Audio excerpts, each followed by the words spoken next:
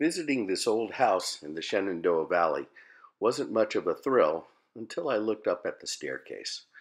Um, one of very few photos I took on a recent trip visiting family and friends in the DC area.